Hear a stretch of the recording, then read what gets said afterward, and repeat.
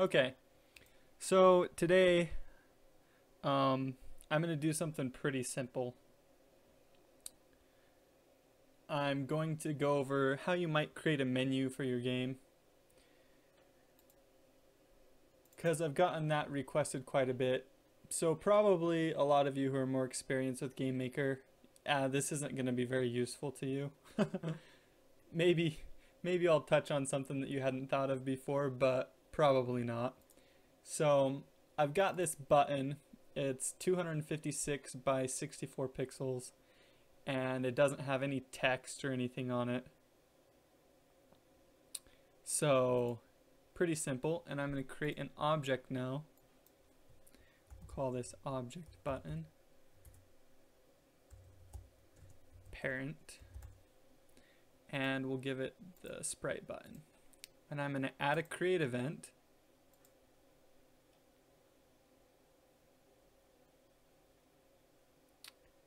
Uh, base building. Oh, GameMaker 5. Holy cow. That's probably like the first GameMaker version I used. That's insane. Okay. Let's do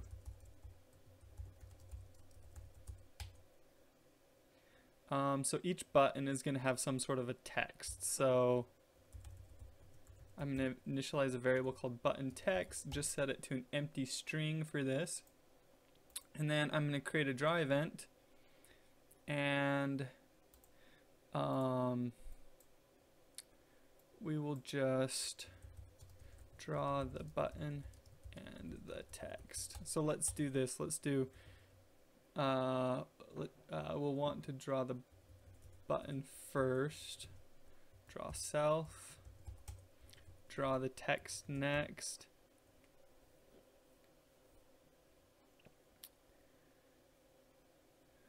Uh, you can get GameMaker Studio for free without a resource limitation on it. So I would recommend that. Um, draw text. Let's do X, Y, because I centered this, and then button text. Um, I'm going to want to set the horizontal align and the vertical align. So draw, set, well, let's see, it's just set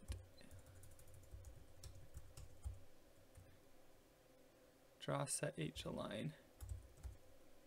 And then I think it's FA center, draw set V align, FA middle. So that'll set both the horizontal align and the vertical align before we draw the text. After we draw the text, I'm probably just going to set them back, set them back to left. And oh, I don't know what the default is for the vertical align. I'm guessing. I'm guessing it's top. Whatever. I'll have to figure that out. So we've created our button parent now, and I'm gonna create a room. And um,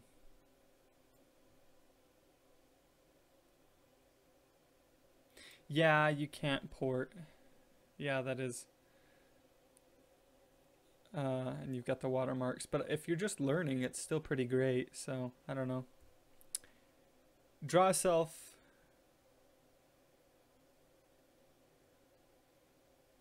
FA middle is default. Wow, that's interesting. Huh.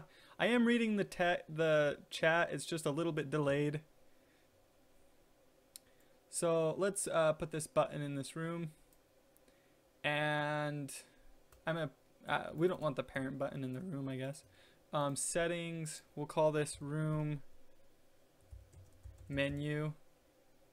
And then I'm going to create one more room and call it room game. So this would be where your game actually is. And I'm going to make this a different color to make this easier, easier to see visually. I'll give it a blue background like the sky.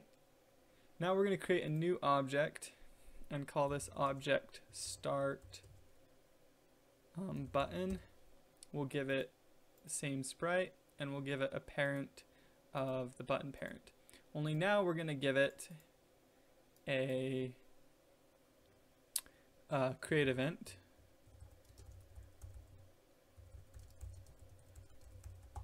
And we're going to call, um, we're going to do button text equals start. Let's do start game. And I'm going to duplicate this and create another button called object button. Well, it's object end button. And we'll call this exit game. Except I might call it exit button just to be consistent.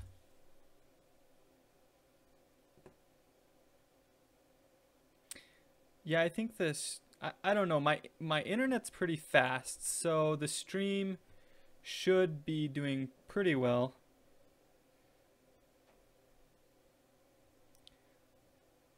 It should be streaming pretty well.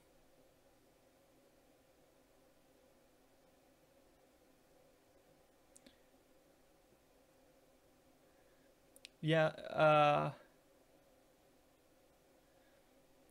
I've got I'm pretty excited because it's actually thanks to pa- Patreon that that I'm able to stream to live stream because I used some of the money that I got from Patreon to save up for a slightly nicer computer because I had a laptop from like 2010 and it could not stream. It it's it had it, it just couldn't handle it. I tried before and it just wouldn't work. So I saved up, budgeted for about a thousand dollar desktop computer and bought that. And uh, so this one's quite a bit faster. And my upload speed should be around 90 megabytes a second. So uh, the stream should be pretty good, but I don't know. Um, let's go into the button parent again, and we're gonna create uh, something in here called button action. And we're going to set this equal to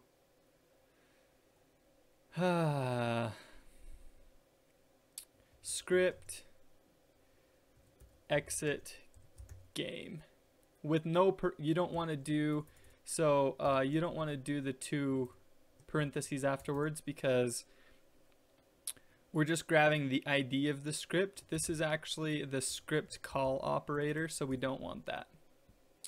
And we're going to come and create two scripts. We're going to call this one script exit game. And we'll just do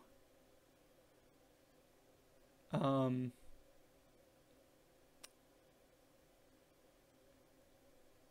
let's see, we're gonna do game end. I keep reading the comments and getting distracted.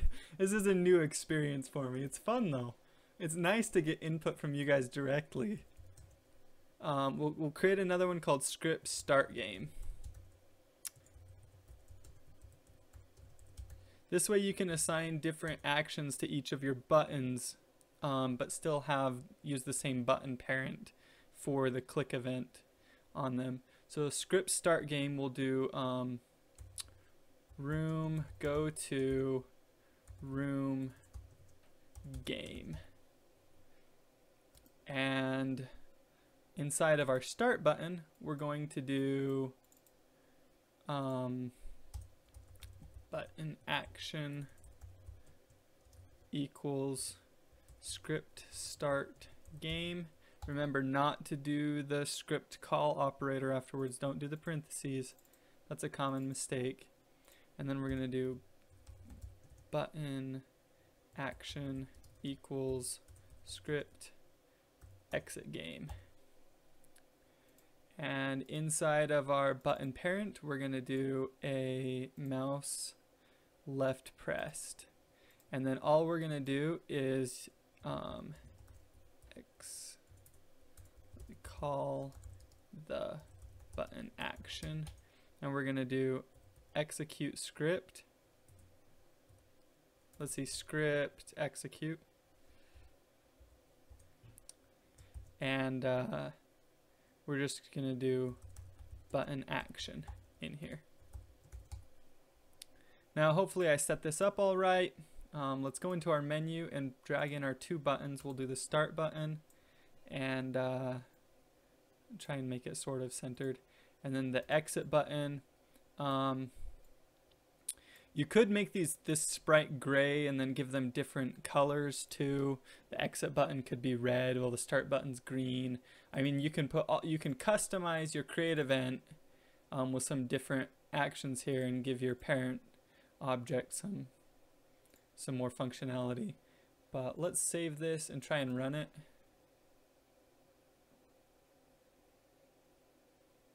And the text is kind of small. Um,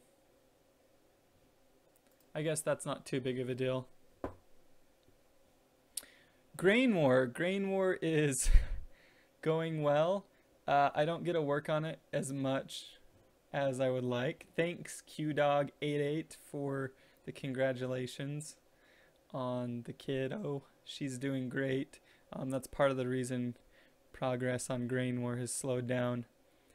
But uh, it's I haven't stopped working on it. So don't worry about that. Yes, I will be streaming development of Grain War. So and I'll keep you guys posted on that because I uh it'll it, it'll help give me some what's the word that I want to use? Uh it, it'll give me an excuse to kind of keep me working on it if I'm streaming it for you guys. So and it'll be kind of fun too.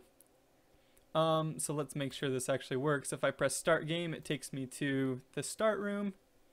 And if I come back and press exit game, it exits the game. So we've got a basic menu system um, for your game. And this is, I tried to do this pretty simple. So it's just using the mouse button to click on these. You could set it up to do the arrow keys as well, but for this example, I decided not to do that. So